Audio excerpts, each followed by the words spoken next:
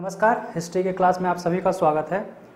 हम लोग हिस्ट्री में मॉडर्न इंडिया शुरुआत कर चुके थे और इसमें मैंने आपको बता दिया था कि औरंगज़ेब के बाद से मैंने मॉडर्न इंडिया को लिया है और वहीं से मैंने शुरू किया है। 1707 में जैसे उसकी मृत्यु होती है और उसके जो उत्तराधिकारियों का युद्ध होता है the decline of Mughal empire ठीक है, वहाँ से मैंने मॉडर्न इंडिया आपका स्टार्ट किया है, जिसमें मैंने पहला लेक्चर आपका ले चुका था, जिसमें बता दिया था कि उसके उत्तराधिकारी के युद्ध में सबसे विजय कौन हुआ? बहादुर शाह प्रथम जो है, राजगद्दी पर बैठा। उसके बाद से आपके जहांदार शाह आए, फ़रूख सियर आया और उसी क्रम में जो है बढ़ते बढ़ते आपके कौन आया?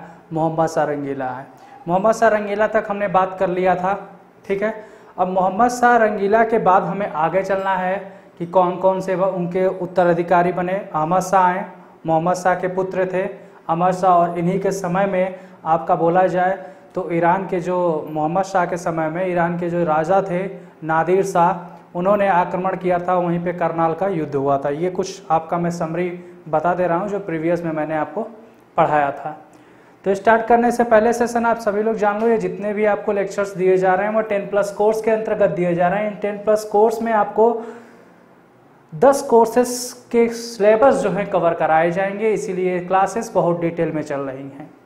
अगर आप इन क्लासेस के नोट्स प्रैक्टिस सेट लेना चाहते हो तो आप परीक्षा प्लस ऐप से पीडीएफ सब्सक्रिप्शन प्लान ले सकते हो। इसके दो फ़ेज़ ये दूसरा फ़ेज़ चल रहा है, पहला फ़ेज़ हो चुका है। अगर आप पहले या दूसरे फ़ेज़ में से किसी एक फ़ेज़ में लेना चाहते हो, पहले फ़ेज़ में आप देखोगे तो वहाँ पे पूरा के वीडियो और वहाँ के पीडीएफ लगे हुए हैं।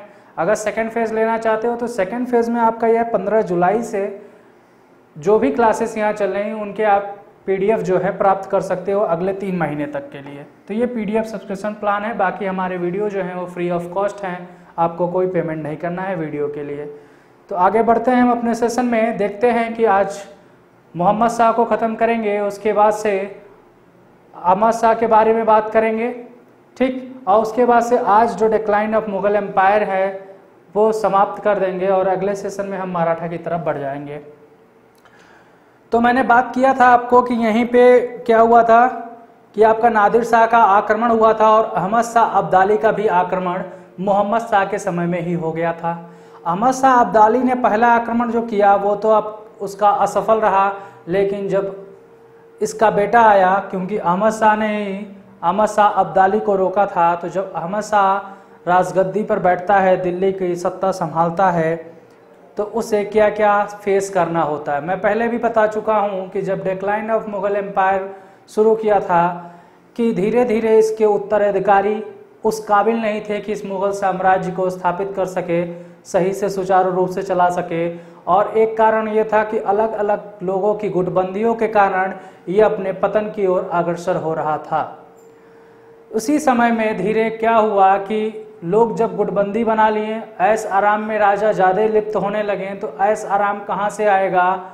ऐस आराम आने के लिए पैसा चाहिए और पैसा जो भी राजस्व में अभी तक इकट्ठा था, उन सभी को ये जितने भी राजा थे अपने ऐसो आराम में, जितने भी ये कुलीन वर्ग थे, वो समाप्त करते चले गए और धीरे धीरे राजधानी का राजस्व जो है खाली होता चला गया और अहमद शाह के समय में ऐसा समय आ गया कि वहाँ पे सेना के बर्तन देने के सॉरी वेतन देने के लिए कहा जाता था कि राजघरानों के बर्तन भी बेचने पड़ गए।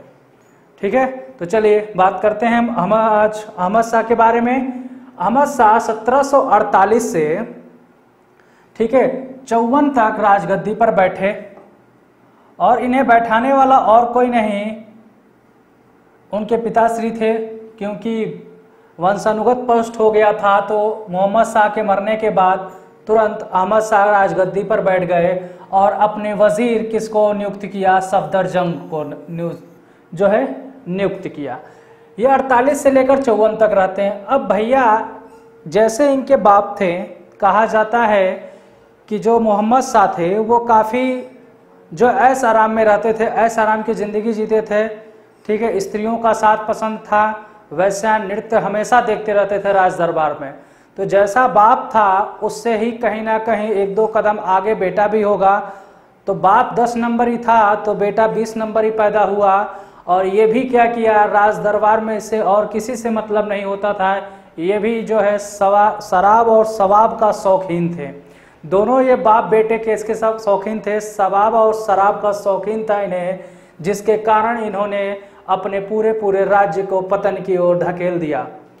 और यही कारण हुआ कि इसने अपने वज़ीर को, जो है सफदरजंग को वज़ीर बनाया और इसी के शासनकाल में एक हिजड़ों का, जो बोला जाता है कि सरदार था, जिसका नाम था, नाम क्या था? आवेद खा था। हिजड़ों का जो सरदार था, उसका नाम था जावेद खा, जिसे नवाब बहादुर की उपाधि दे दी। और इसका रुझान जो आपका अहमद शाह का रुझान जावेद खां की तरफ़ बहुत ज़्यादा होने लगा था, जिसके वजह से क्या हुआ सफदर जंग ये सब देखकर, क्योंकि वो वज़ीर था, और जावेद खां भी चाहता था कि अगर अहमद शाह हमारे पक्ष में हो जाएँ तो हम ये वज़ीर का पद सफदर जंग से छीन कर ठीक है, वज़ीर हम खुद बन जाएँगे। इसी के चलते क्या हुआ कि जो राजमाता थी और जावेद खां के बीच में कुछ जो है अनबन हो गए। क्योंकि जावेद खां और राजमाता, ये दोनों लोग मिलकर एक तरह से कहा जाता था कि अहमद शाह के समय में प्रशासन चला रहे थे। लेकिन ये इसका जो बोला जाए महत्वाकांक्षी होने के कारण जावेद खां के, कि ये सोचता था कि हम राजा बन जाए और पहले तो ये सोचता था कि वज़ीर को पद से हटा दे और वज़ीर को पद से हटाने के बाद सीधे राजा को हटा दे। लेकिन जो राजमाता थी, वो जान गई थी इसके इरादे कि ये क्या करना चाहता है। इसी वजह से सफदर जंग क्या करता है? जावेद खां की हत्या कर देता है, क्योंकि उसे राजमाता का सपोर्ट मिल जाता है। अब जब जावेद खां में जो है मर जाता है, उसी बीच वज़ीर का जो पावर ये बढ़ जाता है और कहीं ना कहीं जावेद खां को अहमद शाह काफ़ी प्यारा था, जिसके कारण अहमद शाह सफदर जंग पर गुस्सा हो जाता है और इसे वज़ीर के पद से निकासित कर देता है। ठीक है? और इसमें अब होड़ मच जाती है वज़ीर बनने में। तो वज़ीर वज़ीर बनने में उसका एक प्रधानमंत्री रहता है, सेना जो बोला जाए इमाद उल मुल्क। ठीक है? इसे, ये जो है नया आपका क्या बनता है? वज़ीर बनता है। ठीक? ये वज़ीर बनता है और एक तरह से बोला जी, जैसे ही ये वज़ीर बनता है, वैसे पूरी तरह से मुग़ल सत्ता को अपने कंट्रोल में कर लेता है। मगर जैसे अहमद शाह को पता चलता है कि सब कुछ ये इमादुल मुल्क कर रहा है, जिसका नाम गाजी उद्दीन भी था। ये याद रखना, इसका नाम क्या था? गाजी उद्दीन था। इसने क्या किया था? सफदर जंग को, जो ये सफदर जंग था, वज़ीर के पद से हटा दिया। ये बार बार विद्रोह कर रहा था तो इसको सरदार मल्हर राव के हेल्प से ये होलकर राजवंश के प्रथम राजकुमार थे। इनके हेल्प से सफदरजंग को हटा देता है और खुद वज़ीर बन जाता है। और वज़ीर बनने के बाद एक बोला जाए सुल्तान को कठपुतली तरह नचाता है। जब सुल्तान को इन सब बातों का भनक पड़ता है तो सुल्तान क्या करता है? इदम, इमादुल मुल्क को मारने का षडयंत्र रचता है। और इधर इमादुल मुल्क भी जान जाता है कि अब मेरा पत्ता यहाँ मेरा जो है बोला जाए दाल नहीं गलने वाली है तो वह क्या करता है? कि आपके मराठों के हेल्प से, ठीक है, उस समय मराठे जो हैं, मुग़ल के शासन के एकदम विपरीत थे। वो मराठों के हेल्प से क्या करता है कि इनको इमादुल मुल्क, इनको यहाँ सत्ता से हटा देता है और किसे नया राजा बनाता है? जहांदार शाह के पुत्र अजीजुद्दीन, ठीक है? जहांदार शाह के पुत्र अजीजुद्दीन को गद्दी पर बैठाता है, जिसको नाम देता है आलमगीर सेकंड।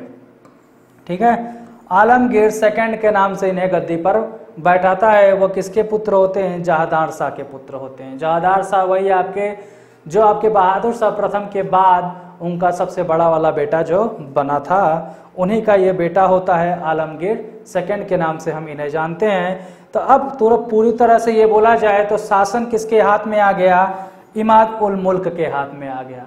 इस वज़ीर के हाथ में आ गया, सिर्फ़ कहने को ये आलमगीर राजा बने। ठीक? जैसे ही आलमगीर राजा बनता है, ये याद रखना, एक फैक्ट इनके में है। ठीक? आप इसमें आमद शाह के शासनकाल में एक फैक्ट है कि सेना को वेतन देने के लिए राजमहल के बर्तन बेचने पड़े याद रखना। इन्हीं के किस पूछ लेता आपसे क्वेश्चन कि किसके शासनकाल में वेतन देने के लिए राजघराने के बर्तन तक बेचने पड़े थे?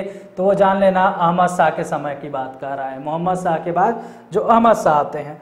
अब बोलते हैं आपके आलमगीर सेकेंड जो बनते हैं, राजा बनते हैं, चौवन से लेके सत्रह से लेके अंठावन तक चार साल का इनका टाइम पीरियड रहता है। इनका वज़ीर मैंने बता ही दिया, इमादुल मुल्क रहता है क्योंकि ये वज़ीर बनने के लिए तो लड़ाई लड़ता है। और राजा को अपनी कठपुतली बना लेता है। इसी के समय में अहमद शाह अब्दाली दिल्ली तक आ चुका था, क्योंकि आपके अहमद शाह के समय में वो दिल्ली पर के आसपास के इलाकों में अहमद शाह अब्दाली ने पाँच बार आक्रमण कर चुका था। कहा जाता है कि वो सात बार आक्रमण किया था, जिसमें से पहला आक्रमण उसका विफल था। बाकी पाँच बार आपके अहमद शाह के समय में ही अहमद शाह अब्दाली ने आक्रमण किया और कई प्रदेशों में अपना वर्चस्व कायम कर लिया, लूटा, वहाँ से धन दौलत ले गया। और इसके शासनकाल में ये दिल्ली तक आ गया और बोला इनसे समझौता कर ले गया कि भैया, आप लोग भी हमें कुछ पैसे के तौर पे हमेशा भिजवाते रहना।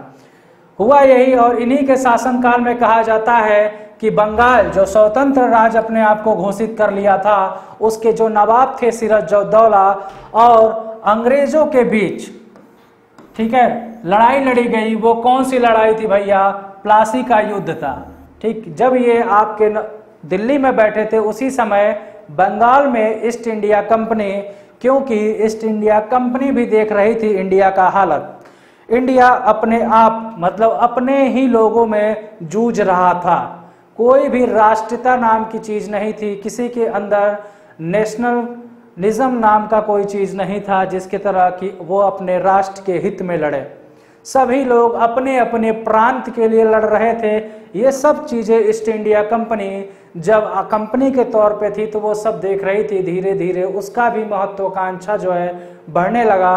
वो देखा कि ये लोग तो अपने में ही जूझ के मर रहे हैं तो क्यों ना इसका फ़ायदा उठाया जाए और यहाँ पे राज करने की जो है नीति अपनाई जाए। और यहीं से शुरुआत होता है सत्रह सौ संतावन का युद्ध होता है।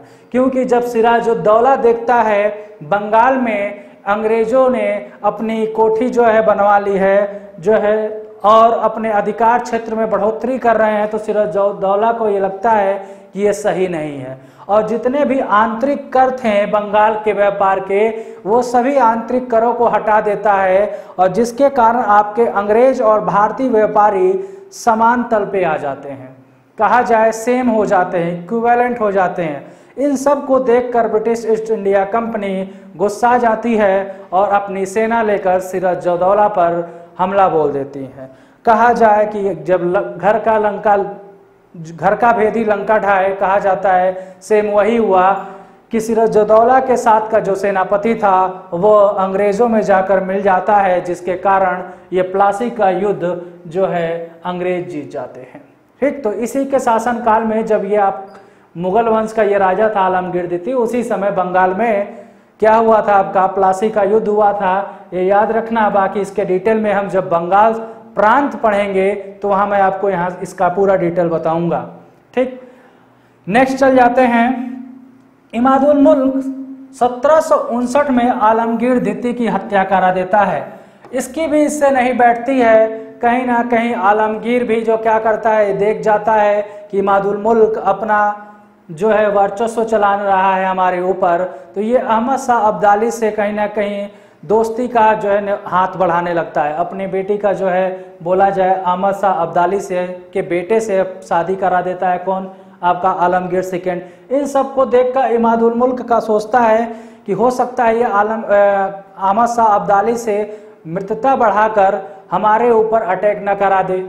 और इन सबसे पहले ही क्या कर देता है, वो उसकी हत्या करा देता है इमादुल मुल्क। और जैसे इसकी हत्या होती है, इसका बेटा जान जाता है कि भैया ये तो इमादुल मुल्क गद्दार निकला, ये राजा को ही मरवा दिया, ये तुरंत यहाँ से भाग खड़ा हो जाता है, इसका पुत्र रहता है, वो कहाँ भाग जाता है? पटना भाग जाता है। ठीक? पटना भागने के बाद ये क्या करता है? दिल्ली में दूसरे को राजा घोषित कर देता है। वो कौन होता है? वो मोही उल मिल्लत होता है। ठीक है? कुछ समय के लिए बोला जाए, मोही उल मिल्लत को इमादुल मुल्क दिल्ली का राजा बना देता है। ये मोही उल मिल्लत कौन होता है? ये मोहिद उल मिल्लत काम ठीक है? जो किसका बेटा था? कामबख्श। औरंगज़ेब का बेटा था। औरंगज़ेब का बेटा कामबख्श का पौत्र होता है और कामबख्श का बेटा जो मोही उस सुन्नत होता है उसका बेटा होता है मोहिन उल मिल्लत। ठीक, कामबख्श का पौत्र और मोही उस सुन्नत का बेटा मोही उल मिल्लत होता है। इसको क्या बोलता है? राजा बना देता है और जब ये देखता है, ठीक है, उनसठ में आलमगीर द्वितीय की मृत्यु के बाद ये आपके कौन बन जाते हैं? मोहिल उल मिल्लत वहाँ के राजा बन जाते हैं और शाहजहां किस नाम से बनते हैं? शाहजहां तृतीय के नाम से बनते हैं। शाहजहां थर्ड के नाम से ये राजगद्दी पर बैठते हैं। ये याद रखना क्वेश्चन पूछता है कि शाहजहां थर्ड के उपाधि से कौन दिल्ली की राजगद्दी पर बैठा था? तो वो कौन था? आपका मोहिल उल मिल्लत था। ठीक? उसके बाद से जो आलमगीर द्वितीय का पुत्र होता है, क्या नाम होता है उसका? शाह आलम द्वितीय वो तो पटना में होता है, लेकिन अब पटना से गद्दी पाने के लिए वो मराठों का हेल्प लेता है। कहता है, भैया मराठे, आप हमें हेल्प करो, हमारे पिताजी की गद्दी जो है, इमादुल मुल्क ने हथिया लिया है। तो मराठों के सरदार होते हैं सदाशिवराव भाऊ। वो अपनी सेना लेकर अहमद शाह, आपके शाह आलम द्वितीय के साथ निकल जाते हैं और शाह शाहजहां तृतीय, ठीक है? जो शाहजहां तृतीय थी जिसे इमादुल मुल्क ने राजा बनाया था, उनसे युद्ध होता है और ये शाहजहां तृतीय हार जाते हैं। और हारने के बाद जो इमादुल मुल्क की तानाशाही होती है, एक तरह से बोला जाए, इसे कैद कर लिया जाता है और ख़त्म करा दिया जाता है। ठीक? अब जैसे ही इनकी इमादुल मुल्क की तानाशाही खत्म होती है तो आपके कौन शाह आलम आलमगीर के पुत्र राजा बनते हैं। कहा जाता है ये कि अपने आप को राजा घोषित करने के बाद पट, पटना से दिल्ली तक ये शायद 10 से 12 महीने तक दिल्ली नहीं गए थे। अपने आप को राजा तो मान लिए थे मगर वो दिल्ली नहीं गए थे। वो दिल्ली कब गए? जब इन्हें मार दिया गया। जब इमादुल मुल्क आपके पूर्ण रूप से खत्म हो गए।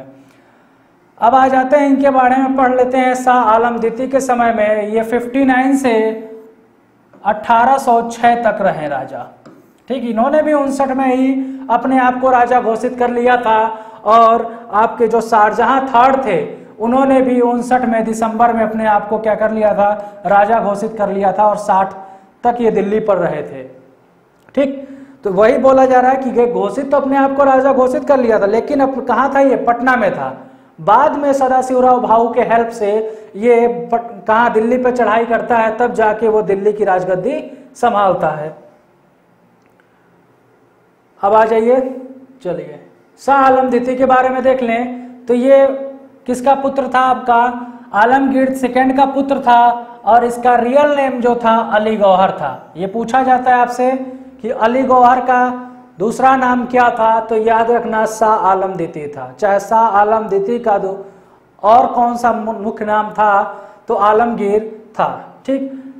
ये इसने जो है, शाह आलम की उपाधि लिया था। अली गौहर ने किसकी शाह आलम द्वितीय की उपाधि ली थी और शासन पर बैठा था।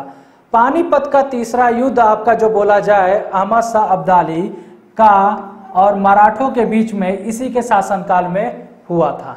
ठीक, इस युद्ध में मराठे जो है हार गए थे।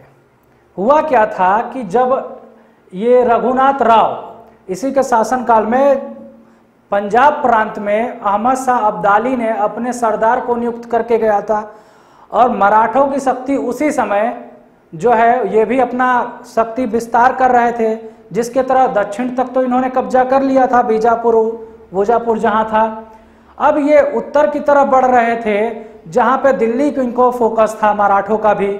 तो ये लोग पंजाब पर आ गए, रघुनाथ राव अटैक किए थे और वहाँ पे जो अहमद शाह अब्दाली का सरदार था उसे हरा दिए थे। और जब ये खबर अहमद शाह अब्दाली को पता चला तो अहमद शाह अब्दाली तुरंत आपका कहाँ से? अफ़गानिस्तान से उठा और अपना घोड़ा लेकर चल दिया। और जैसे ही वहाँ से लूट के चला, वो हरियाणा में आए और यहाँ से जो मराठा को पता चल गया कि भैया, अब तो अब्दाली आ रहा है, अगर पंजाब को बचाना है तो मराठों सैनिक लेके हम लोग चल पड़े। तो यहाँ से आपके कौन? जो है, पूरे मराठे अपनी सेना लेकर, सदा शिवरा भाव लेकर, अपना सेना, सैनिक लेकर चल देते हैं और पानीपत के मैदान में दोनों सैनिक आमने सामने भिड़ते हैं। कहा जाता है, जब ये युद्ध हुआ तो मराठों का लग रहा था कि विजय प्राप्त हो जाएगा। लेकिन जो बुंदेलखंड के जो सैनिक थे, जो मराठों की सहायता कर रहे थे इस लड़ाई में, उनको ब्लॉक कर दिया गया, एक तरह से। तो उनसे जो सहायता प्राप्त होता था, जो भी सेना के लिए राशन पानी आता था, वो बंद हो गया। सेना धीरे धीरे मराठों की कमज़ोर हो गई। अब अहमद शाह अब्दाली को इन्होंने काफ़ी पीछे तक ढकेल दिया था। अफ़गानिस्तान की तरफ़ जाने के लिए एकदम मजबूर कर दिया था। लेकिन भैया रिवर्स हो गया कि सेना के पास अस्त्र शस्त्र की कमी होने लगी, जो बुंदेलखंड से आपका आता जाता था। क्योंकि उधर अफगानियों ने क्या किया था? वो रास्ता ब्लॉक कर रखा था। जिसके कारण धीरे धीरे उसने क्या किया और अफ़गानिस्तान से सेना मना के अब्दाली ने फिर से रिवर्स अटैक कर दिया। जैसे रिवर्स अटैक किया तो मराठों ने अपनी सेना को संभाल नहीं पाए और अफरा तफरी में काफ़ी मात्रा में जो है अब्दाली ने नरसंहार किया और यहाँ पे इस पानीपत का थर्ड युद्ध जो बोला जाए 14 जनवरी 1761 को लड़ा गया था, इसे अफगानियों ने मतलब जीत लिया। अहमद शाह अब्दाली ने इसे जीत लिया। ठीक तो ये आपका हो गया कौन सा? मराठों का और अहमद शाह अब्दाली का युद्ध हो गया। इस अहमद शाह अब्दाली को एक नाम से और पुकारते हैं, हम दुर्रे दुर्रानी के नाम से पुकारते हैं। क्वेश्चन भी पूछता है, दुर्रे दुर्रानी किसे कहते हैं? तो दुर्रे दुर्रानी आपका अहमद शाह अब्दाली को कहते हैं। इसी ने दुर्रानी साम्राज्य की स्थापना किया था। ये दुर्रानी साम्राज्य आपका अफ़गानिस्तान में है और इससे इसका फैलाव इसने पूरा का पूरा इराक तक किया था। ईरान तक आपका इस साम्राज्य का जो है फैलाव किया था इसने अहमद शाह अब्दाली ने। ठीक, क्योंकि नादिर शाह कहाँ का था? ईरान का था। ठीक, वहाँ का राजा था और उसी के बाद से ही अहमद शाह अब्दाली जो है उसकी कमाल संभालता है। तो वो भी, और आपका यहाँ अफ़गानिस्तान, जो पहले मुगलों के कब्जे में था, कंधार और काबुल, वो अब अफगानियों के कब्जे में हो जाता है। ये मैंने सब आपके मेडिवल हिस्ट्री में बताया था कि लास्ट में कैसे आपका काबुल या कंधार जो है, मुगलों के हाथ से निकल जाता है। नेक्स्ट देख लेते हैं।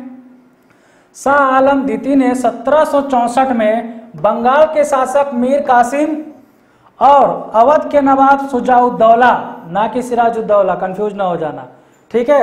सुराजुद्दौला के साथ मिलकर क्या हुआ? कौन सी लड़ाई लड़े? बक्सर का युद्ध लड़े। उस बक्सर के युद्ध में अंग्रेज़ों का जो सेनापति था, वो कौन था? हेक्टर मुनरो था। और बच्चों, उसमें कहा जाए आपका कि जो प्लासी का युद्ध था, उसमें कौन था? तो रॉबर्ट क्लाइव था। ये याद रखना, अंग्रेज़ी सेनापति का सेना का जो नेतृत्व कर रहा था, वो क्लाइव कर रहा था और यहाँ पे जो कर रहा था, वो हेक्टर मुनरो कर रहा था। बाकी डिटेल हम जब पढ़ेंगे वो कब, जब इसका आपको बंगाल में पढ़ाऊँगा तो ये सब बताऊँगा डिटेल में। तो इसी के शासनकाल में हुआ था, जिसमें शाह आलम भी क्या थे? साथ दिए थे अंग्रेज़ों के विरुद्ध। लेकिन क्या हुआ? अंग्रेज़ों ने इस लड़ाई में भी क्या किया? इन्हें हरा दिया और यहीं से 100 परसेंट ये हो जाता है कि भैया, अब अंग्रेज़ी हुकूमत को कोई रोक नहीं सकता। और इसी युद्ध के बाद क्या हुआ? अंग्रेज़ों ने और शाह मुगल जो राजा थे शाह द्वितीय, उनके साथ क्या हुआ? संधि की गई। वो कौन सी संधि थी? इलाहाबाद की संधि थी। ये सोलह सौ सत्रह में आपको की गई थी। चौंसठ में बक्सर का युद्ध लड़ा गया और पैंसठ में संधि की गई, इलाहाबाद की संधि, जिसके अंतर्गत क्या हुआ? शाह आलम को काड़ा और इलाहाबाद का क्षेत्र मिला और मुगल बादशाह ने क्या किया? अंग्रेज़ों को क्या किया? कहाँ कहाँ का दे दिया क्षेत्र? वो देख लो, क्योंकि यहीं से के बाद जो है, अंग्रेज़ जो है एकदम खुला सांड हो गए। ठीक है? बंगाल, बिहार और उड़ीसा की दीवानी ईस्ट इंडिया कंपनी को दे दिया गया। मतलब कि आप बंगाल का, बिहार का और उड़ीसा, ये तीनों प्रांत के जो भी राजस्व होगा, उन सबको आपको वसूलना है। ठीक तो यहाँ से इनको क्या हो गया? पूरी फ्री छूट हो गई और बोला जाए, ये हंड्रेड परसेंट क्या हो गए कि पूरा तरह अब लगने लगा था कि अब अगला जो है, साम्राज्य अपना स्थापित कोई करेगा भारत पे तो वो कौन करेगा? अंग्रेज़ करेंगे। ठीक है, पहले तो प्लासी का युद्ध हुआ। ये एक युद्ध के बाद जैसे वो जीते, उनका कॉन्फिडेंस हाई हो गया और चौसठ में बक्सर के युद्ध के बाद तो वो हंड्रेड परसेंट से और हो गए कि अब यहाँ इफ़ बट क्या कंडीशन कोई नहीं है, इनको भिड़ा दो, ठीक है, अब आपस में ही और अपने राज करो। और इसी के साथ इन्होंने क्या किया कंपनी ने 26 लाख रुपया सालाना देने का वादा किया था किसको? आपके जो मुगल राजा थे, शाह आलम द्वितीय। ठीक? तो शाह आलम द्वितीय को 26 लाख रुपए देने का वादा किया था। ये क्वेश्चन यहाँ से पूछता है आपसे। बोला था, एक क्वेश्चन पूछा था आपसे आयोग ने कि निम्नलिखित में से कौन सा कथन सत्य नहीं है? ठीक है? तो उसमें कई ऑप्शन दिए थे कि इसकी बंगाल, बिहार और उड़ीसा की दीवानी दे दी गई।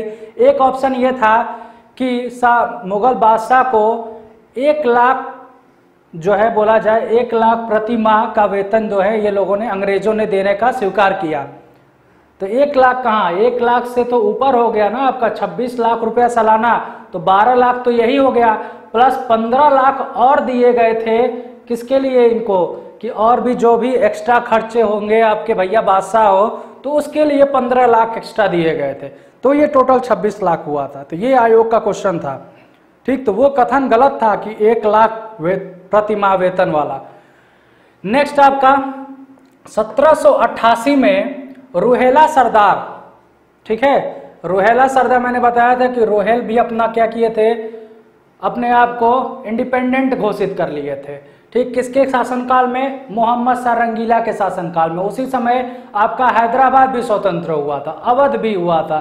ठीक तो उसी में ये रोहेले सरदार भी अपने आप को स्वतंत्र घोषित किए थे। उसी का एक सरदार था गुलाम कादिर, उसने क्या किया? शाह आलम द्वितीय को अंधा कर कर जेल में डाल दिया। फिर बाद में आपके सरदार महादजी सिंधिया, ठीक है? महादजी सिंधिया आते हैं और शाह आलम द्वितीय को जेल से रिहा कराते हैं और दिल्ली की गद्दी पर बैठाते हैं। और जो रोहेला सरदार था कौन? गुलाम कादिर को इसको फांसी दिलवा देते हैं। तो फिर से ये अंधा तो करके ये जेल में डाल देता है रोहेला सरदार। फिर बाद में ये आपके जो मराठा सरदार आते हैं, महादजी सिंधिया, ये क्या करते हैं, इनको गद्दी पर फिर बैठाते हैं और इसको रोहेला सरदार को फांसी की सजा दे देते हैं। लेकिन 1803 में क्या होता है, अंग्रेज़ दिल्ली तक फिर से आ जाते हैं। चौसठ में आपका पैंसठ में वो संधि हुआ। संधि होने के बाद कुछ समय तक ये अपना राज्य किए, लेकिन 1803 में अंग्रेज़ दिल्ली पर अधिकार कर ले गए और शाह आलम द्वितीय को पेंशनर बना दिया। क्या बना दिया? पूर्ण रूप से पेंशन देने लगे हैं कि भैया, आप सिर्फ़ अंग्रेज़ों के प्रतिनिधि के रूप में यहाँ पे रहोगे। बाकी सब कुछ यहाँ का राजस्व, वजस्व जो भी होगा, वो और सैन्य शक्ति भी किसके अंतर्गत आ जाएगी? आपके अंग्रेज़ों के अंतर्गत आ जाएगी। ठीक? तो यहाँ सिर्फ़ ये पेंशनर बन गए तो आपसे पूछता है कि पहला मुगल शासक कौन था जो अंग्रेज़ों का पेंशन पेंशनर था? तो कौन था वो? आपका शाह आलम द्वितीय था। ठीक, ये याद रखना। ये पूछता है क्वेश्चन कि पहला मुगल शासक जो अंग्रेज़ों का पेंशनर बना, वो कौन था? शाह आलम द्वितीय था। उसके बाद से 1803 में पूरा दिल्ली पर इनका अधिकार हो गया और अंग्रेज़ों ने ही 1806 में, ठीक है 1806 में इनकी मृत्यु हो जाती है, तीन से में पूरा अंग्रेज़ के पेंशनर बन के ये काम करते हैं, अंग्रेज़ों के लिए दिल्ली में। और जैसे ही छः में इनकी मृत्यु होती है, इनके मृत्यु के बाद जो है अकबर द्वितीय, इनका बेटा 1806 में अंग्रेज़ों ने इनको जो है दिल्ली का शासक नियुक्त किया। तो शाह आलम द्वितीय के मृत्यु के बाद उनका पुत्र अकबर द्वितीय राजगद्दी पर बैठता है 1806 में। उसके बाद से इसके शासनकाल में बाकी कुछ होता नहीं, क्योंकि अब सब कुछ जान लो कि किसके साथ आ गया, अंग्रेज़ों के हाथ में आ गया। वो जो कहेंगे, वही इनको करना होगा। बाकी राजगद्दी पर बैठे रहो, ऐसा आराम करते रहो। ठीक, वही हालत हो गई थी अब मुगलों की। तो इसी ने, इसी के शासनकाल में राजा राम मोहन रॉय को कहाँ पर? इंग्लैंड भेजा गया था कि, भैया, तुम जाके वहाँ बताओ कि अंग्रेज़ हमारे साथ क्या कर रहे हैं। ठीक है? ये जाते हैं इंग्लैंड वहाँ के राज दरबार में बताते हैं सब कुछ स्थिति, लेकिन वहाँ इनका इग्नोर कर दिया जाता है इन्हें। ठीक है, कोई सुनता नहीं है कि हाँ मुगल बादशाह को ऐसा कर दिया गया है पेंशनर बना दिया गया है, सब कुछ बताते हैं। सब दयनीय स्थिति बताते हैं, क्या कर रही है कंपनी कैसे राज, वहाँ पे एकदम शासन करने पे उतारू हो गई है कंपनी वहाँ के राजा को सब बताते हैं, लेकिन राजा राज दरबार में वहाँ इग्नोर कर लिया जाता है किसके? राजा राम मोहन राय के बातों को। तो राजा की जो उपाधि राम मोहन राय को दी गई थी, वो किसके द्वारा दी गई थी? अकबर द्वितीय के द्वारा दी गई थी, ये याद रखना। ठीक? ये क्वेश्चन भी पूछा है आपसे कि राजा की उपाधि किसके द्वारा राजा राम मोहन राय को दी गई थी? तो अकबर द्वितीय के द्वारा दी गई थी। ये याद रखना, एक क्वेश्चन इनसे भी बन जाता है। अठारह में अकबर शाह द्वितीय इन्हें अकबर शाह द्वितीय भी बोलते हैं और अकबर द्वितीय भी बोलते हैं। अकबर द्वितीय इसलिए, अकबर फ़र्स्ट कौन था? तो अकबर फ़र्स्ट भैया शाहजहां का बेटे औरंगज़ेब का बेटा था, ठीक है, जो उनके खिलाफ विद्रोह कर दिया था। मैंने पढ़ाया है, आप जाके मेडवल में जब औरंगज़ेब पढ़ा रहा था, वहाँ पे देख लीजिए था कि अकबर फ़र्स्ट जो था, वो औरंगज़ेब का बेटा था, जो उनके नीतियों के खिलाफ होकर उनका विद्रोह कर देता है। ठीक तो द्वितीय की हत्या हो जाती है कब? अठारह में इनकी मृत्यु हो जाती है। उसके बाद से आपके अगले बादशाह बनते हैं बहादुर शाह द्वितीय लास्ट आपके मुगल रूलर बनते हैं। ठीक है? मुगल शासक के लास्ट रूलर जो सैंतीस से लेके अठारह के क्रांति तक ये रहते हैं। उसके बाद संतावन की क्रांति होती है और अंठावन में ही क्या हो जाता है आपका कि पूर्ण रूप से ब्रिटिश का जो है यहाँ पे बोला जाए, ब्रिटिश क्राउन का राज हो जाता है। रानी के जो है राज यहाँ शुरू हो जाता है। तो सैंतीस में अकबर द्वितीय की मृत्यु के बाद इन्होंने क्या हुआ? अंग्रेज़ों ने यहाँ का शासक बनाया।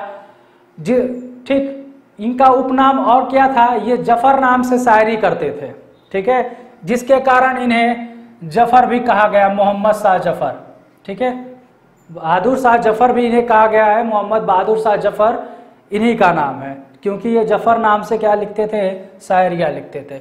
अठारह में जो क्रांति हुई थी, जो विद्रोह हुआ था, मंगल पांडे ने शुरू किया था, उस विद्रोह में जब मेरठ से सैनिकों ने दिल्ली तक आ पहुँचे तो दिल्ली में एक नेता की ज़रूरत थी उस विद्रोह को नेतृत्व करने के लिए तो वहाँ पर नेता के तौर पर इन्हें नियुक्त कर दिया गया। किसे? बहादुर शाह को नियुक्त कर दिया गया। बहादुर शाह द्वितीय को जो इस अठारह की क्रांति का एक तरह से बोला जाए नेता नेतृत्व कर दिया गया कि आप ही इस सैनिक को क्या करोगे? नेतृत्व करो। फिर बाद में अंग्रेज़ों ने इन्हें क्या किया? इनका, इन, जब इनका पूरा का पूरा ये अठारह का विद्रोह का दमन हुआ तो इन्हें क्या किया? रंगून भेज दिया जेल में। ठीक है, वहीं इनका क्या हो जाता है? रंगून में इनकी मृत्यु हो जाती है, बहादुर शाह द्वितीय की। ये रंगून कहाँ है भैया? ये म्यांमार जो है, वह उसी की राजधानी है आपका रंगून। अठारह में इनकी मृत्यु हो जाती है। ठीक, संतावन में तो ये पूरा पूर्ण रूप से खत्म हो जाता है, क्रांति होने के बाद। बोला जाए तो मुगल शासक इंडिया से खत्म हो जाता है और ब्रिटिश क्राउन का राज शुरू हो जाता है। लेकिन इन्हें गिरफ़्तार करके कहाँ भेज दिया जाता है? यहाँ रंगून भेज दिया जाता है और बासठ में रंगून में इनकी क्या हो जाती है? मृत्यु हो जाती है।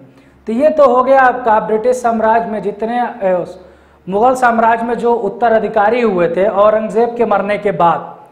तो ये देखा गया कि ये उसके मरने के बाद कोई भी सुचारू रूप से साम्राज्य का जो संचालन नहीं कर पाया।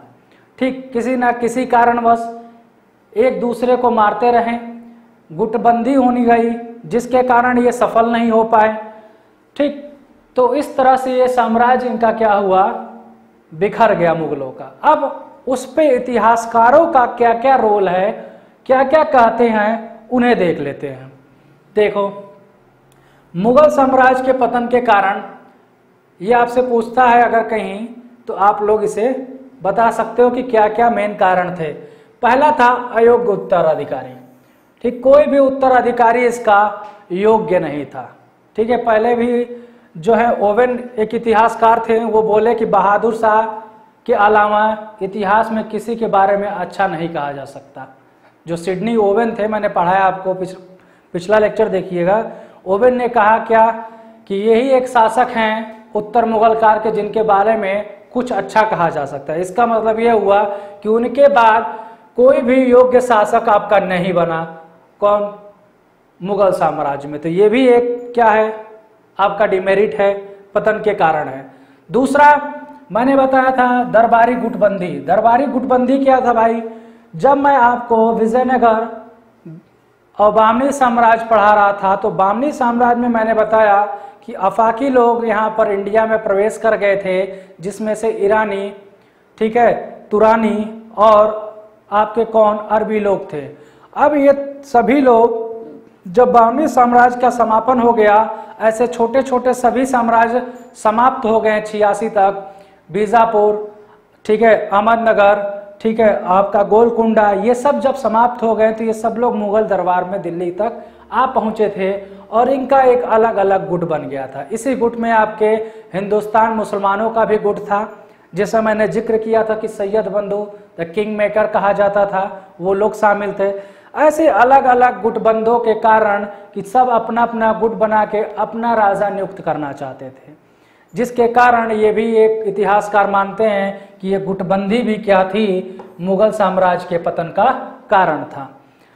नेक्स्ट तीसरा क्या है? औरंगज़ेब का उत्तरदायित्व। कहा जाता है इतिहासकारों के द्वारा कि मुगल साम्राज्य का पतन तो औरंगज़ेब के शासन काल के समय से ही हो गया था, क्योंकि उसकी कुछ धार्मिक नीतियों के कारण ना राजपुताना उसके शासन काल में उसकी आज्ञा मानते थे, क्योंकि उसकी धार्मिक नीतियाँ इतनी कट्टर थी, जिससे राजपूत भी क्या किए, विद्रोह पैदा कर दिए। सिख जो है साम्राज्य था, उसने भी विद्रोह पैदा कर दिया, और इसी विद्रोह के कारण तेग बहादुर को यह मरवा देता है, फांसी दिलवा देता है। उसका फांसी क्या सर धड़ से अलग करा देता है, ऐसे मृत्यु देता है। तो यही इतिहासकार कहते हैं कि कुछ इसकी धार्मिक नीतियों के कारण औरंगज़ेब के कि उसका पतन मुगल साम्राज्य का उसी समय से चालू हो गया था। यह भी एक कारण है। नेक्स्ट है, सैनिक क्षमता। बोल सकते हो कि एक तो कहा जाए यहाँ पे मुगलों की खुद की सेना नहीं थी, बोला जाए।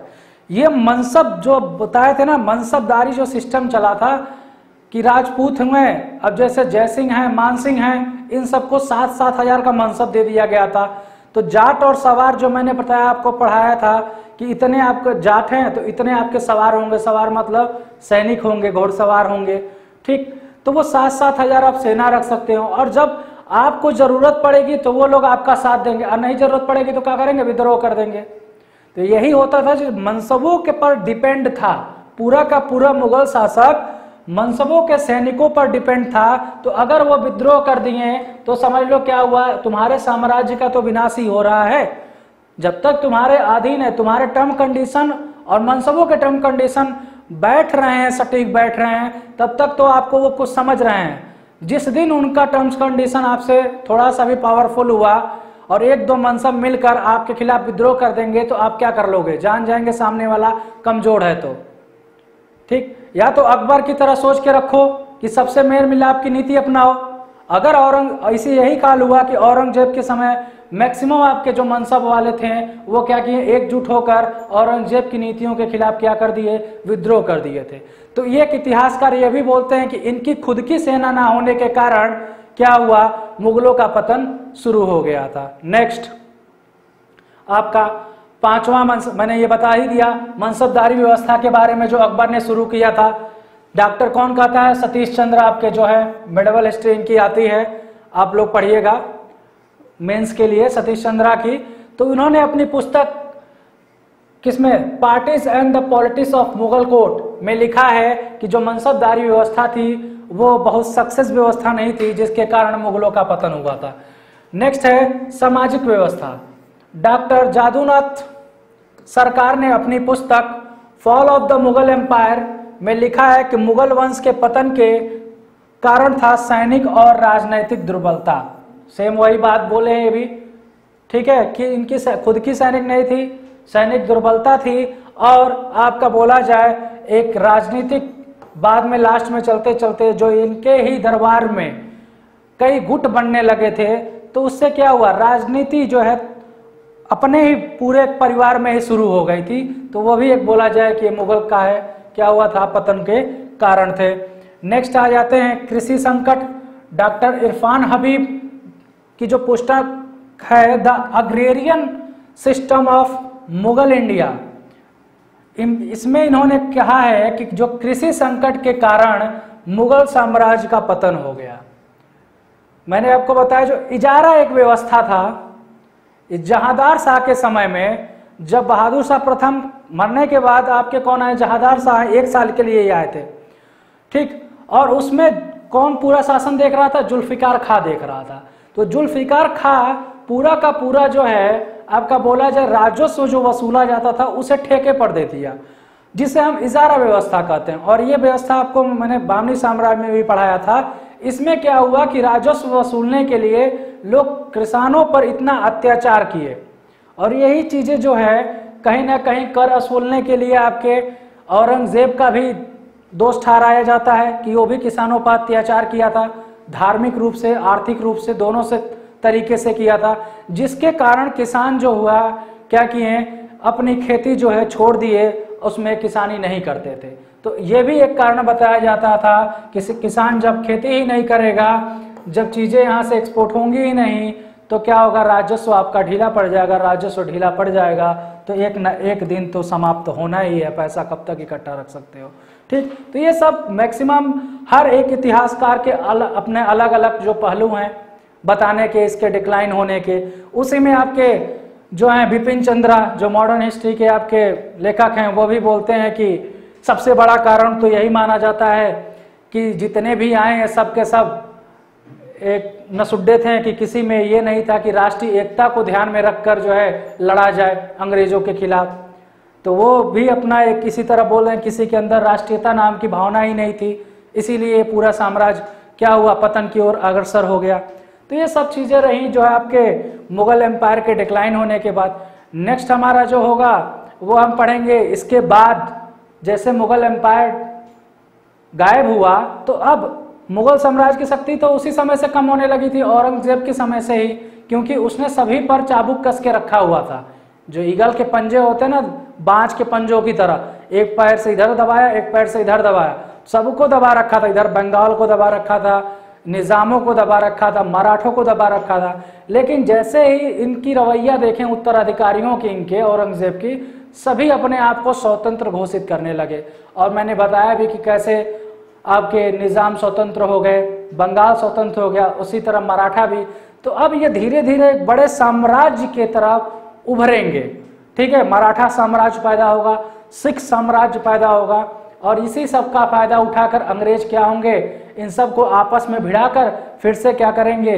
अपना जो है साम्राज्य स्थापित करेंगे। तो इन सब के बारे में मैं डिटेल में नेक्स्ट क्लास में बात करूँगा। तब तक के लिए सभी लोग इस वीडियो को लाइक कर दो शेयर कर दो और चैनल पर जितने लोग नए हो सब्सक्राइब कर दो। मिलते हैं अगले सेशन में। धन्यवाद।